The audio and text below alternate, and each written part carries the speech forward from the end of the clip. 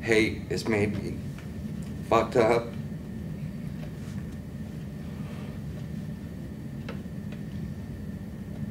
And sometimes I feel like I should have killed them both. Maybe me and my brother wouldn't be where we're at today. I've been fortunate enough to make positive change and to numb my pain and hate.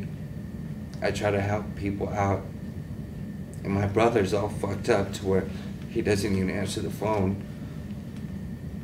The only thing he wants to do is sit up in an apartment and do drugs and drink, and he isolates. He he's got a weaker mind than me. I've always been the aggressive one. I was always been the survivor in any situation, and he's always been the weak link. Now, in him being the weak link, he's made a lot of bad choices in life to where he don't trust nobody or nothing. He's not a bad kid. We just got shortchanged.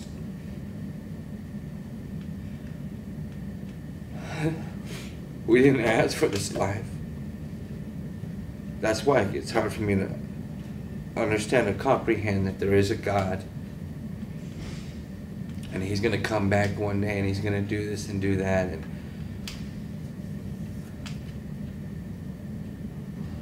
there's just so much bullshit that happens in this world. It's hard to comprehend there's God. And, it, and you wonder why there's so much hate and why people do what they do.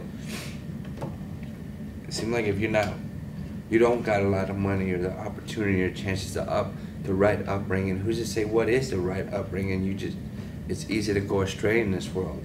It's just, and it's sad. Because it don't take much these days to end up into a place like this, and it's not pretty. And you get complacent. I've been living in these rooms so long, I don't know no other way. And I'm, I'm scared to leave this place because I don't want to do the wrong thing. Because I know I don't have another recovery in me. If I leave here and fuck up, I'm gonna die. So it's like I'm putting all my, I'm betting everything on this last opportunity. And that's why I've stayed here so long. Because I'm not gonna make no more wrong decisions. I can't do this no more. I'm not gonna go back to prison. I'm not gonna come back into a program and just what keeps me going is hoping I can keep doing what I'm doing and, and make some a change and difference and be a positive leader. That's the only way I can I feel content with living. I mean if it was up to me I'd just die today. Cause why even bother going through with it's hard living.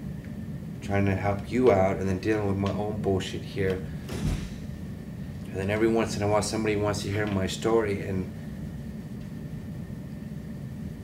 subconsciously I forget it because there's people out there that I still wish I could just go back and go back to my old ways. Hurting or killing my mom, it's not gonna change nothing. But who's to say when it brings some type of satisfaction to my brother or something?